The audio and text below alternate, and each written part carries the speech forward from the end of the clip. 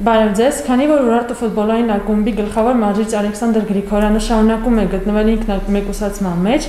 Ասոլիսի ներկայացել է գլխավոր մարզչի օգնական Արսեն Պետրոսյանը, Ասոլիսը կանցկացվի հերավար կարգով։ Պարոն Պետրոսյան, խաղի մասին։ Բարև ձեզ, նախ խաղի մասին Իմ կարծիքով սկզբից մի քիչ բարձ ստացվեց խաղը, դա կախված էր նրա հետ, որ ունենք խաղացողներ, ովքեր երկար դադարից հետո այսօր հիմնական կազմում էին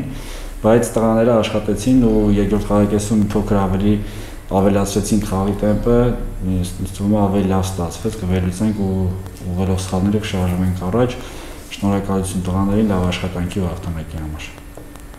Հարցը ուղղված է Էդմոն Մարտիրոսյանից football+.am-ից։ Այսօր խաղալու հնարավորություն ստացան հիմնականում հայ ֆուտբոլիստները, սակայն Վագն Այվազյանը կրկին չհայտնվեց մերկնակային կազմում եւ ընդհանրապես չստացավ խաղային ժամանակ։ Որն է պատճառը։ Դուս գտնական կազմի մեջ չկար կային ֆուտբոլիստներ, ովքեր այս խաղի համար ընտրված են որպես հիմնական կազմի խաղացող, հետո կատարվեց փոխարինումներ ու Ռոբերտո Դարփինյան նույն լիգի խաղացող են ու Դարփինյանը երկար ժամանակ բացակայում էր, այս անգամ հնարավորություն ստացավ Դարփինյանը։ Ինչ որ պատճառ չկա։